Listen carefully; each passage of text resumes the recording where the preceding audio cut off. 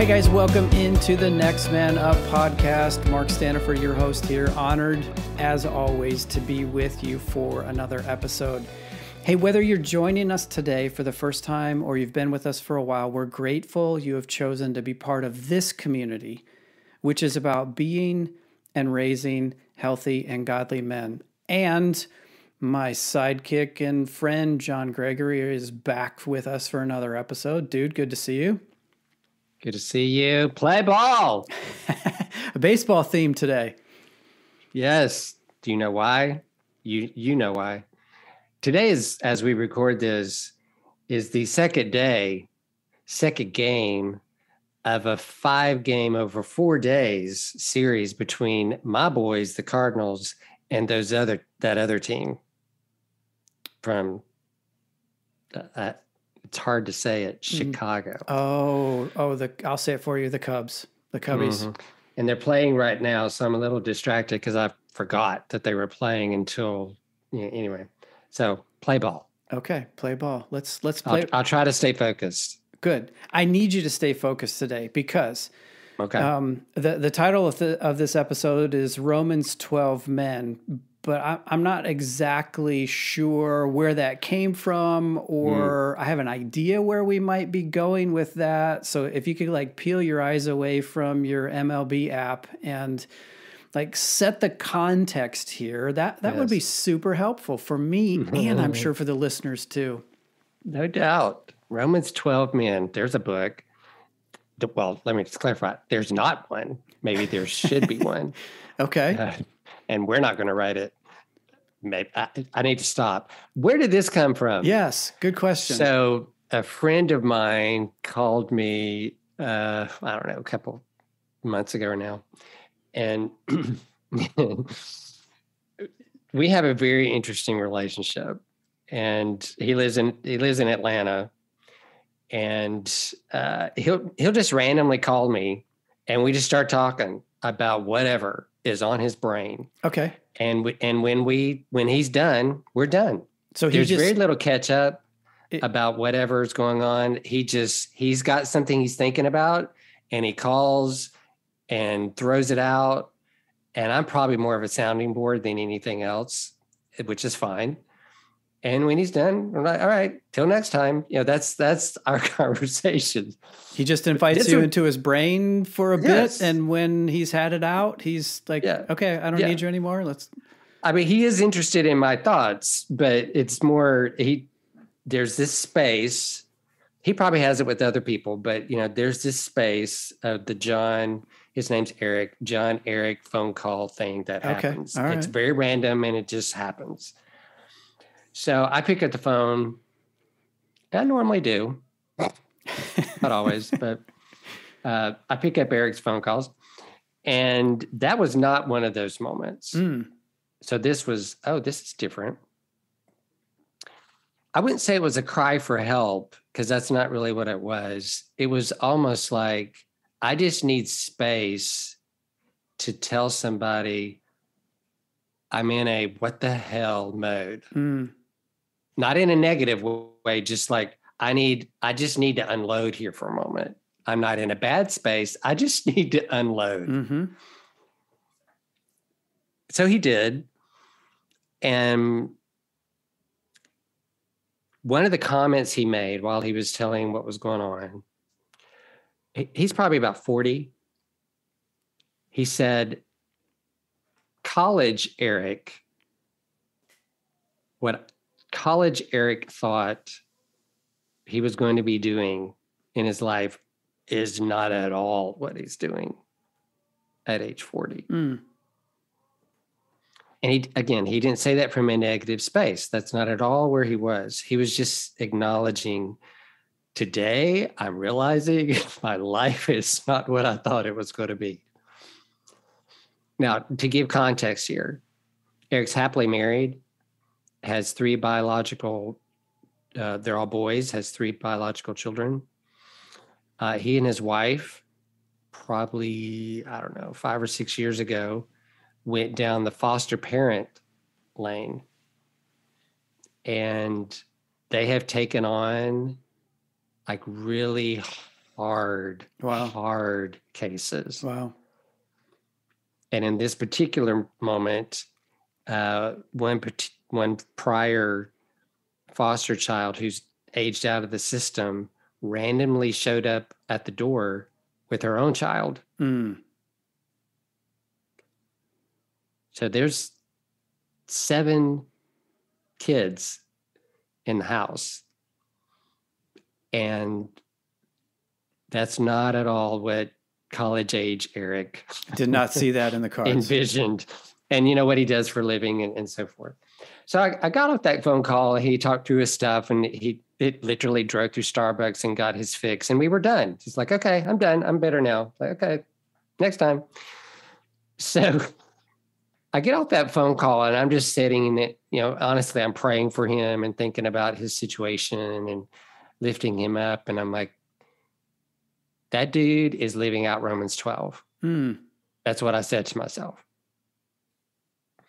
And what I meant by that was particular words in the first two verses of Romans 12. There's a lot in that whole chapter. So just zeroing in on those two verses. So when Paul talks about, here's where we're going to get scriptural now. When Paul talks about presenting yourselves as a living sacrifice, in my mind, Eric's living that out. Because if he had said, I'm going to I'm going to live out my college dream no matter what. Forget whatever else God may tell me or my wife would like to do or blah, da, da, da, da, da. this is what I'm going to do. That's not Romans 12.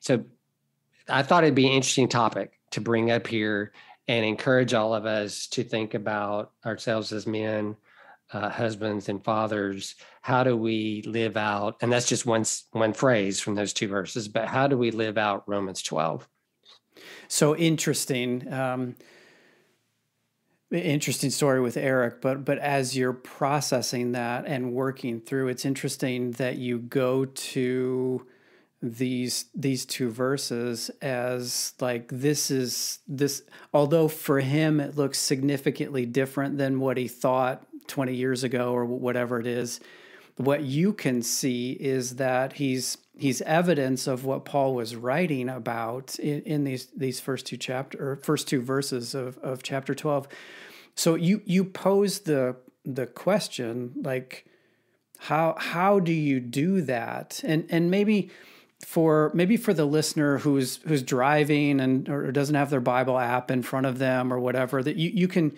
you can kind of g- give us a quick recap of what these what these two verses say in particular and then then we can transition to how, like, how do you, how do sure. you do that what does it mean mm-hmm. to live out Romans 12 1 and 2 yeah so not just a verbatim quote quote them but there's three I'll say key principles or truths that Paul is uh, challenging us to take on.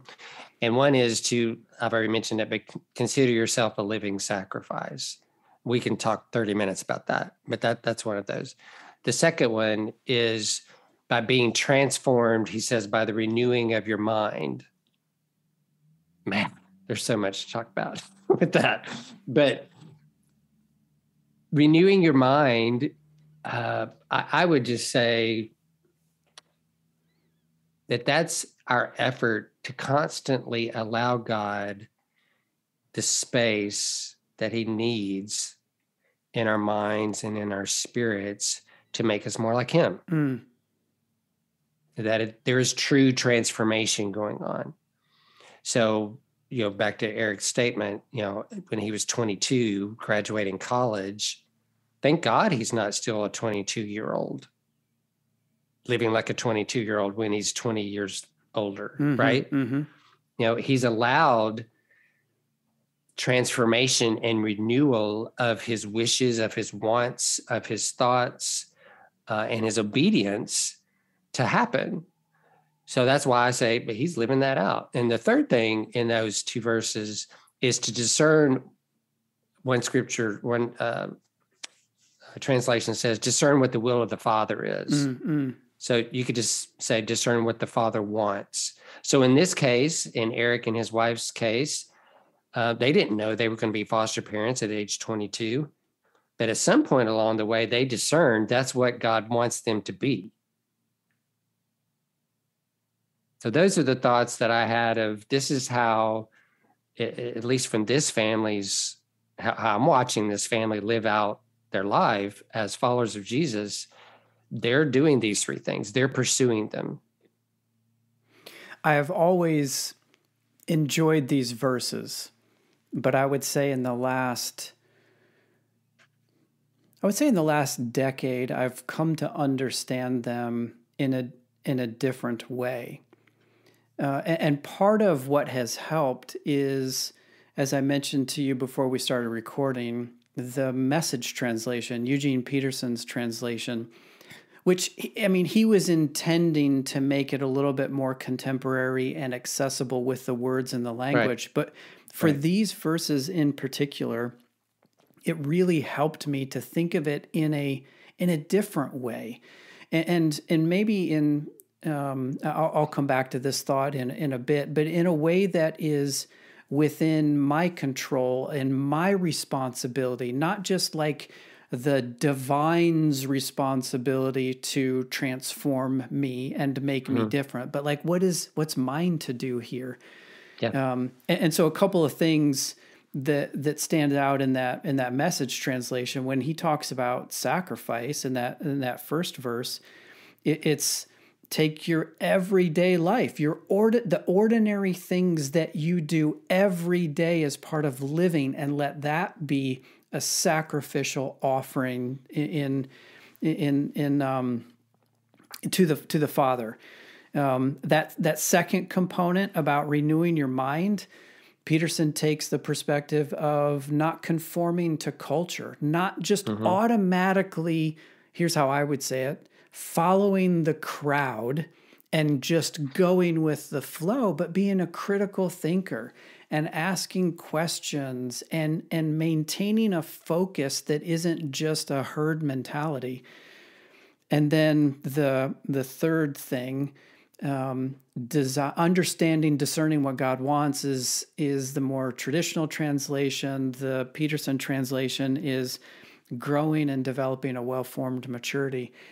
And I don't remember when I first read the message translation, but I can tell you of the thousands of verses that are in that translation, these two resonated with me as much, if not more, than any other of hmm. the verses that I've read in that translation. For me, it was just a way to really amplify, like I said, what not just what father's doing, but what I can do and how I can cooperate in um, in the process as well.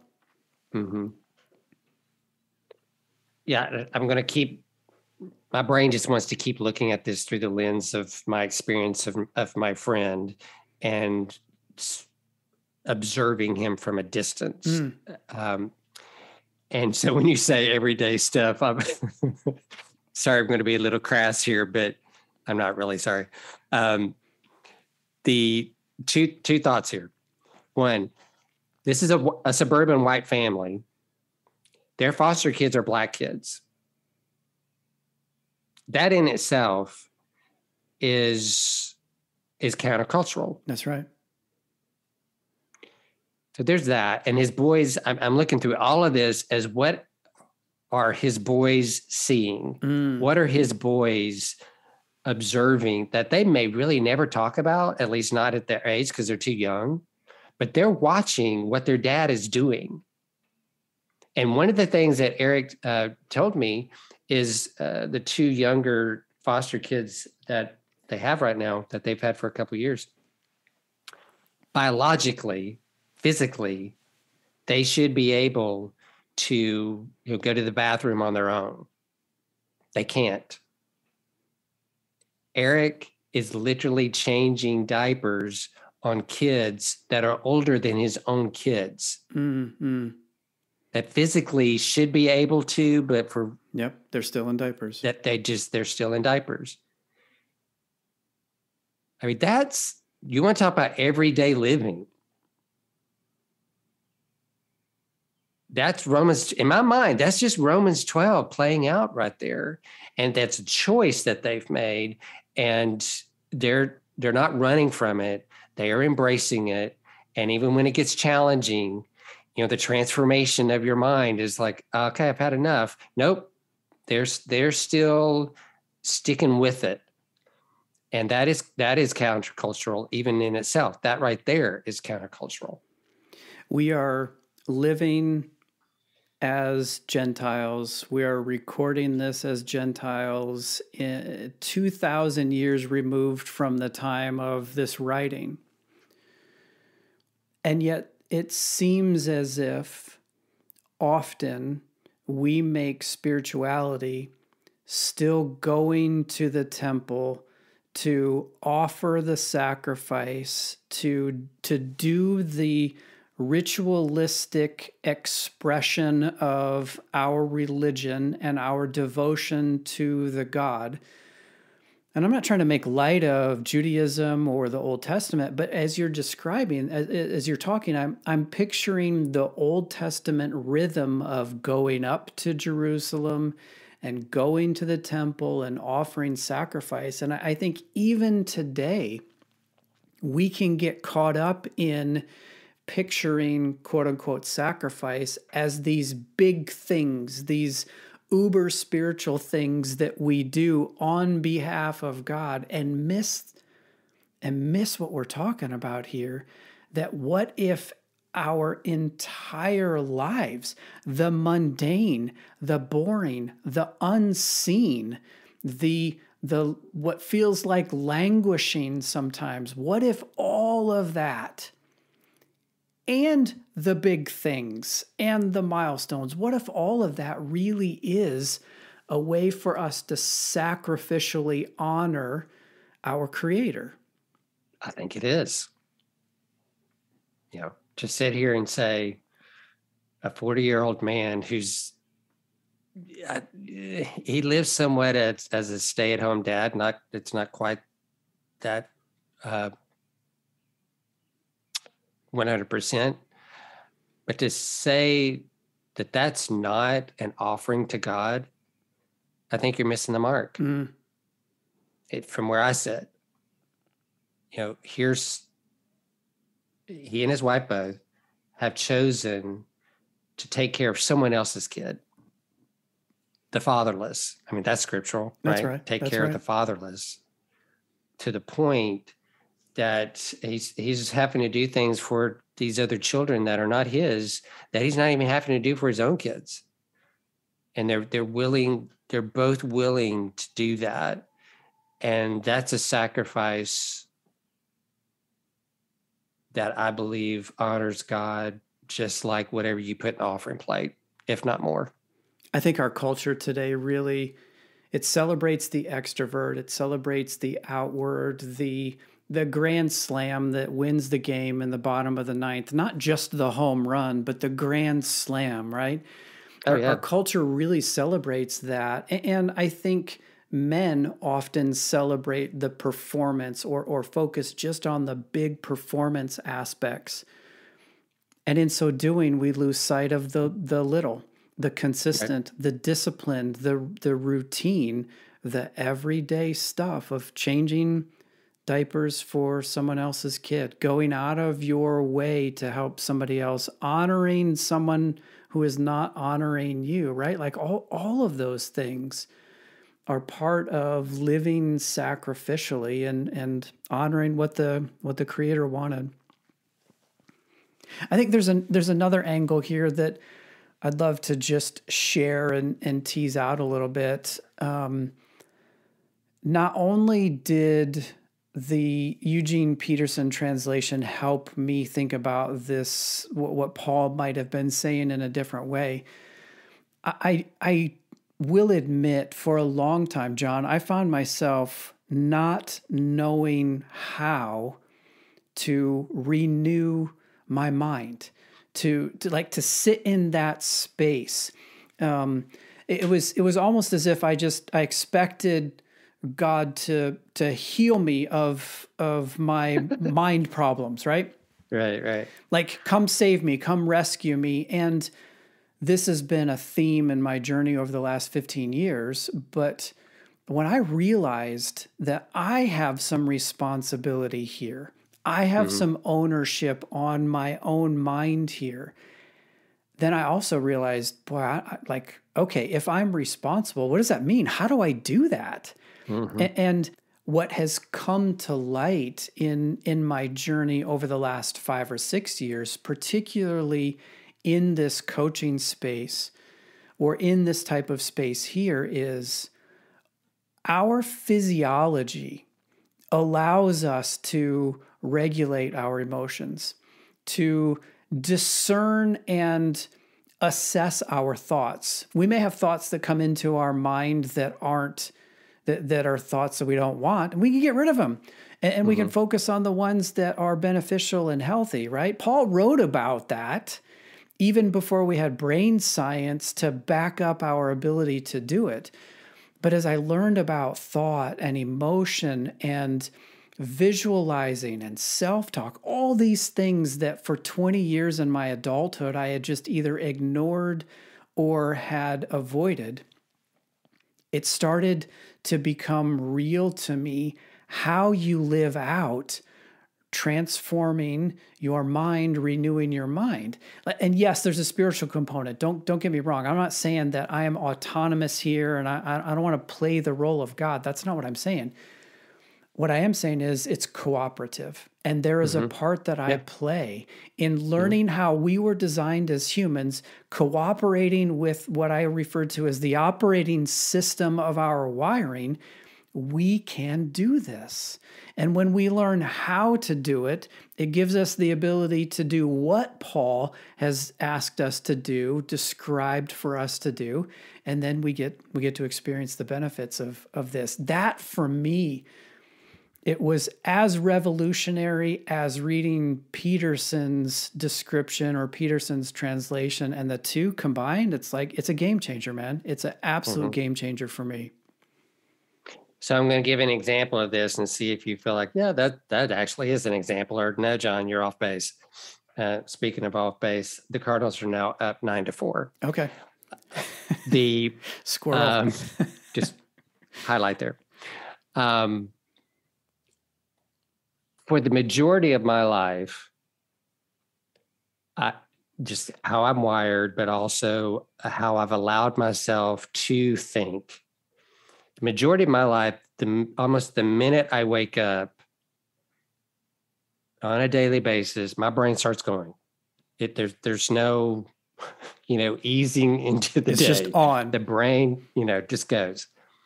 And typically, what I have come to find maybe, I don't know, probably four or five years ago, where those thoughts were very negative mm.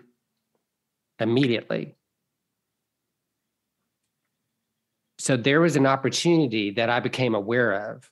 You know, how I start my day, how I allow myself to think, what I choose to think about can pretty much dictate how the rest of the day is going to go. That's right. If I don't do some correcting to that. Now, generally, I would correct that, you know, by having some quiet time, you know, scripture reading, prayer time before I left you know to go do work today and you know my brain's in a little better space but i've i determined that wasn't enough before i even get out of bed i need to alter that i, I need to address that so what i've started doing and i don't do it every day but you know when when i give myself the space and listen well enough it, it sounds pretty simple, but I try to at least think of three three things that I'm grateful for to God mm. to alter that instead of whatever I my brain wants to go on, problem solver, you know, complain about, you know, whatever. Hit the pause button and actually stop that recording, you might say, and start a different one. Yeah. And it and it's an actual conversation it's a prayer. You know, God, I'm grateful today for da da da. Literally, I'm not kidding you, Mark. I have not told anybody this yet. The other day, I don't know why, but I literally said to God, I'm grateful for my teeth. I'm not kidding you because I just, my brain just went down this road of what if I didn't have teeth?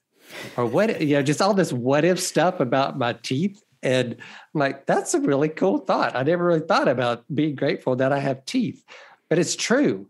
And it changed. I mean, even if I'm saying this right now, you and I are laughing at each other at the screen, but it's a totally shift and what I could be choosing to to dwell on that that's renewing of my mind to start the day when I choose to do it. Now, is that a fair example of what we're talking about? Spot on to what we're talking about. Absolutely spot on. Yep. You're noticing what's happening in your brain. You are deciding that it's not beneficial for you or it it doesn't produce in you or for you what you want and so you change it. And when you do change it your focus is different your thought pattern is different and what I'm hearing is the results are different too, right? Like you wouldn't do it if it wasn't working. You've found some success and, and it's worked for you. And so, yes, spot on 100% right example. By the way, I often, uh, when I first started disciplining myself, which is part of renewing your mind. That's right. Uh, when I started disciplining myself to do this, because of my music capacities and way of thinking, I would try to listen to it in my conversation with God in that moment. What's a song that I could play right now that validates this conversation? Like, I'm not even going to get out of bed. I'm going to open my music app and play this song that supports it, encourages it, makes it deeper, and let that be the start of my day. Um, that's been some actually quite cool moments. It's a it's a creative approach that reinforces for you the thought that you want and mm-hmm. and, and okay so i'm not a scientist i'm not a brain specialist but what I have learned is that our brain will give us what it thinks we want. It will see what we are wanting to look for. It's like when you when you buy a new car and you think nobody else has this car until you're driving it home and you see 15 of them on your way home, not just same car, same color, right? Like it's just that your brain, you've told your brain now, this is important to me, and it's on the lookout for it. Right. And so you begin to notice when you tell your brain these important, these positive thoughts, these different thoughts and ideas, they're important to me. Your brain is your brain is going to look for them. Your brain is also, in many respects, so efficient that it will just rerun the same paths over and over oh, and yeah. over and yeah. over. Good and bad. Good yeah. and bad. That's right, right? Your, your brain is efficient. Sometimes I refer to it as a little bit lazy. That's probably not quite fair, but your brain is is taking cues and saying, "Oh, I've seen this before. We must be going down this path." But it's possible to arrest that and rewire the brain. This is neuroplasticity is the term that we're talking about here. Mm-hmm. It's possible to rewire the brain. Now it doesn't happen overnight. It takes discipline and routine and patterns that that become habits, but it's possible. And I think what that speaks to is the way that we can cooperate with the renewing of our mind process. Now again, it's not completely on us, but I do believe we've been given the ability if we're willing to to understand it and exercise it. And for those that do, it's super beneficial. Why why do we have all these areas of modern science today that talk about establishing a morning routine, that talk about meditation and mindfulness practices and breath techniques and all of these all of these techniques to get centered and present and and focused. Like this is exactly what paul was telling us to do 2000 years ago. We just have the equipment and the knowledge today to be able to to say oh it it does work even outside of the spiritual context, and some might accuse me of heresy here, but outside of the spiritual context, this stuff works. It makes your life better. It allows you to be focused on who you are becoming and go in that direction. But when you couple it with the creator, again, my mm-hmm. language here is we're we have a built-in operating system. When we cooperate with that operating system and we get to know the coder for that operating system, mm-hmm. well then that's that's the place where God wants us to be. You know, I didn't know Paul because he, you know, we didn't a few generations before coexist, you. right? so I can't say that he was saying if you do this and then do this and then do this, you know, there's there's a sequence here in these two verses. However, my gut says that if you want to discern what the will of the Father is, you're going to have a better chance of doing that if you've done number one and number two. That's right. So if that doesn't encourage me to do them, I don't know of a better motivator because one of the one of the questions that gets posed all the time to me is something along the lines of, well, I don't either I don't know how to hear from God or I try and he's not telling me anything and he's just quiet or uh, I, I don't know what he wants. Maybe all he's telling you to do, well, maybe he's not even telling you anything yet because he's waiting. Maybe he's just waiting for you to be willing to change the diaper. Mm-hmm. Maybe he's just willing, waiting for you to be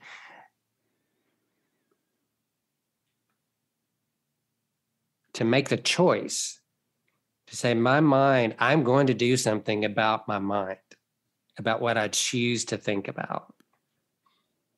And then that allows the Holy Spirit to have that access and that freedom to speak. And the volume is much louder mm. and clearer mm. because you've made those first two choices.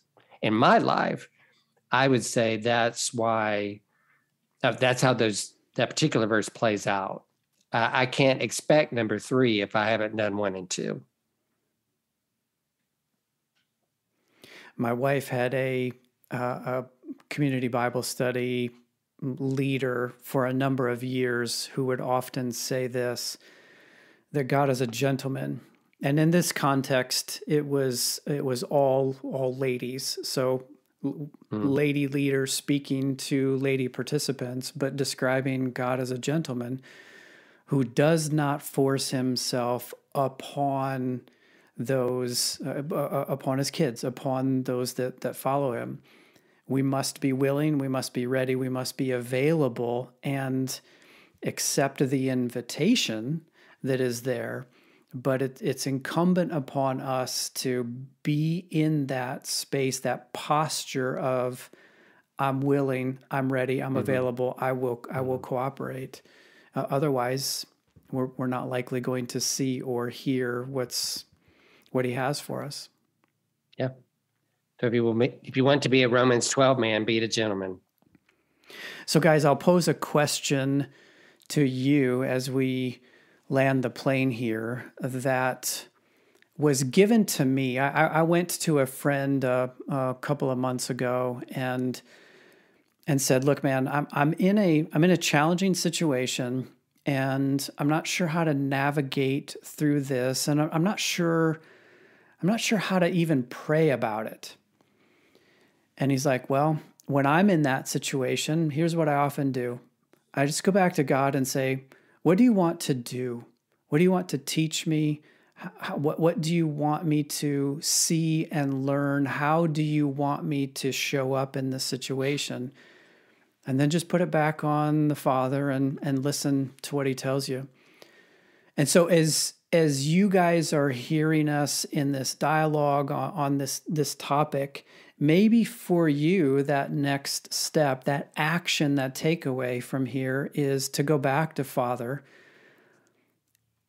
and acknowledge the challenge that you are in, whatever that is, the situation, the circumstance, the the mind space, the head space that you're in, and just in, invite Father to answer the question, what do you want to do in me and through me in this situation? Or how can I cooperate with you and what you are doing so that I can I can grow and you can be glorified. Maybe that resonates with you, maybe it doesn't. You're going to can all those thoughts and you're going to go a different direction because you know that next step that's best for you to take. It doesn't matter to me as long as you're taking that next step in your journey and it takes you closer to the Father and to those that you have influence over friends, family, loved ones. That's our that's our hope. That's why we continue to show up week after week and it's also an enjoyable conversation when we get together and I know John you and I are both growing through this process, but the real hope here um, is that you listeners will be able to grow with us as well. So, Romans 12, men, what does that look like in your life? And what can you do today to move further down that path that Paul described of living sacrifice, renewing your mind so that you can discern what the Father wants. John, any last thoughts before we put a bow on this one today? Yeah, not to send us too far down a road. Just a quick question that you we can all ask ourselves: What is our sons? What are our sons seeing us sacrifice? Mm. Chew on that one. It's a good one. All right, guys, you know the drill by now. Same bat time, same bat channel next week with another episode. Looking forward to it. Until then, adios.